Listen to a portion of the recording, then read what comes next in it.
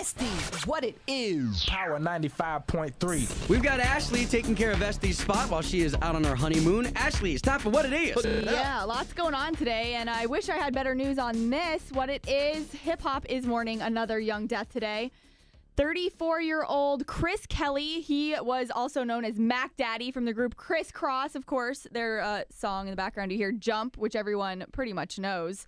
He was found dead yesterday in his Atlanta home. 34 years old, no certain reason yet as to why, you know, what, what the death how he died. You know, the autopsy is going to be done today. One police source is saying it looks like a possible drug overdose. Another police, another policeman said it could have be could have been a homicide. Right.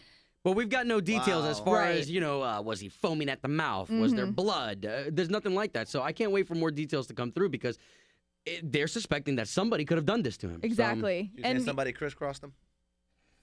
Uh, Sean, yeah, I mean, it's a good joke, but it's, it's just I, I- weird I timing. can't. Yeah.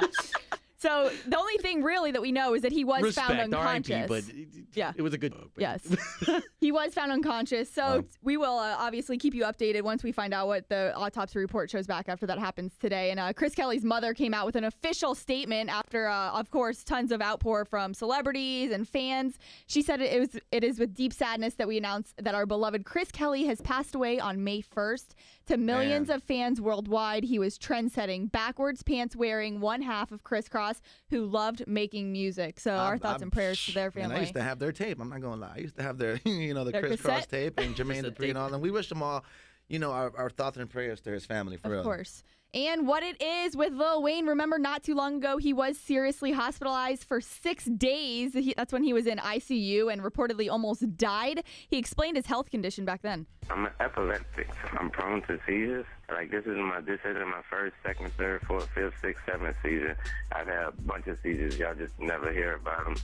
And this past Tuesday, he was hospitalized yet again for another seizure. He was released yesterday, though, actually. He tweeted out, I'm fine, thank you. Because, of course, after that first stint, we didn't hear from him for, you know, a few days. We Everybody wanted to know how he was doing. So he came out right away on his Twitter yesterday saying, I'm fine.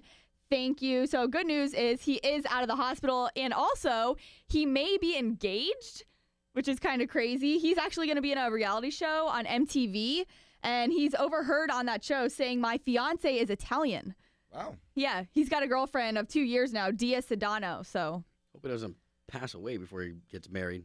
yeah. All these stories of seizures. I know. I hope he. I hope he gets Well, better. she's probably thinking, let's get married before he does, so I can get paid. Get some of that money. That's just wrong.